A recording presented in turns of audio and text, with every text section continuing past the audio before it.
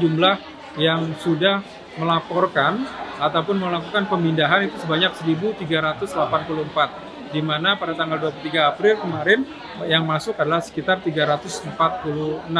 Jadi kita melakukan dari tanggal 16 April hingga 24 April hingga hari ini sudah 1.384. Jakarta dan tingkat pendidikannya apa saja? Apakah mereka sudah punya itu pekerjaan atau sudah punya tempat tinggal? Oke, kalau kita lihat dari eh, lima kota terbanyak ya saat ini harus balik mudik yang memindah yang pindah di Jakarta itu pertama adalah kota Bekasi, kota Depok, kota Tangerang, Bogor, Kabupaten Bogor dan kota Medan.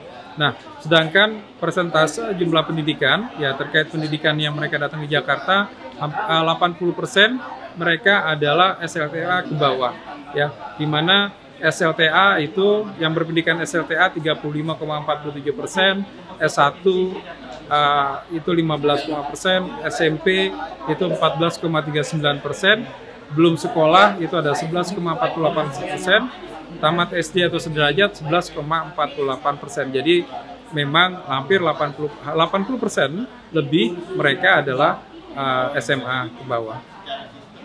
Uh, bagaimana dengan uh, alasan mereka untuk datang ke Jakarta? Kalau kita melihat dari yang uh, 10 pekerjaan yang akan datang ke yang mereka yang datang ke Jakarta, yang terbesar adalah kebanyakan dari mereka adalah pelajar atau mahasiswa, ya karyawan swasta, lalu belum bekerja juga cukup banyak, ikut uh, suami mengurus rumah tangga, wirausaha, dan juga ada buruh harian lepas. Ya demikian. Yang terakhir, himbauan Bapak terkait para pendatang baru nih.